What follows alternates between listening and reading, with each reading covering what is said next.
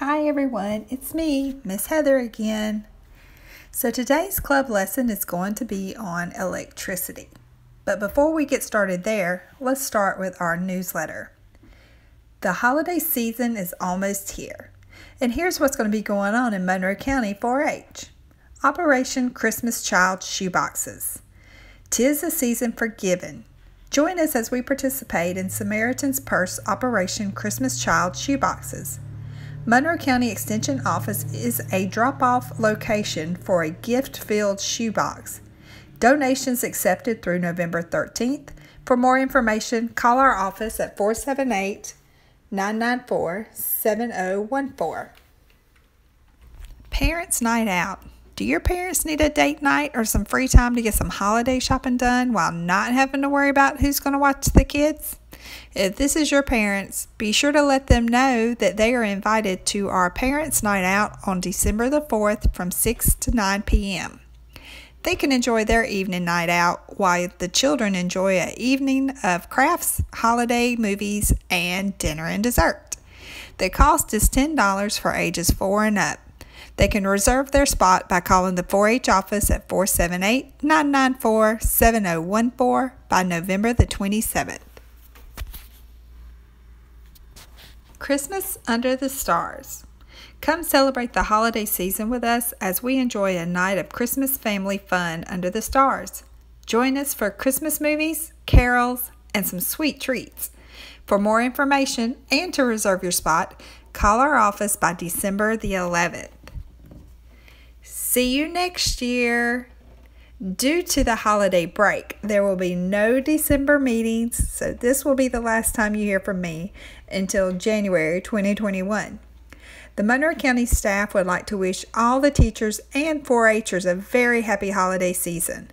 Don't forget to follow us on Instagram at Monroe County, Georgia 4 H so you can stay up to date on the many activities during the holidays.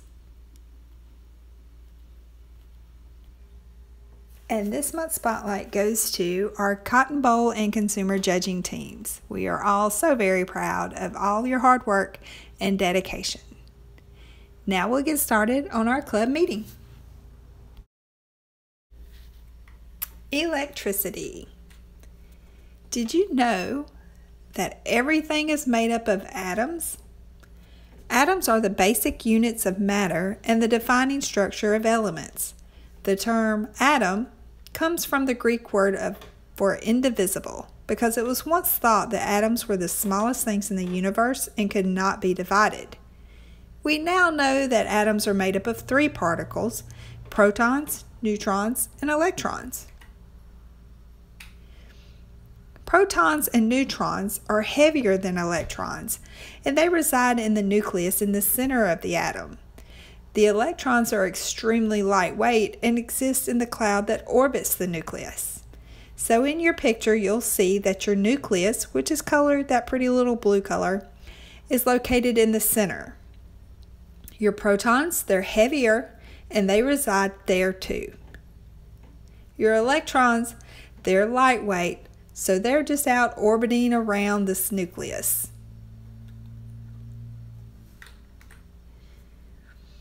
And this is an atom diagram. You'll notice that the nucleus contains protons and neutrons, and they're held tightly together, forming the center of the atom, like the sun in the center of the solar system.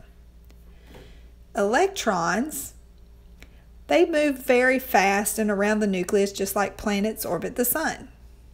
The nucleus is very tiny and its electrons are quite far away from it. Most of the atom is actually empty space.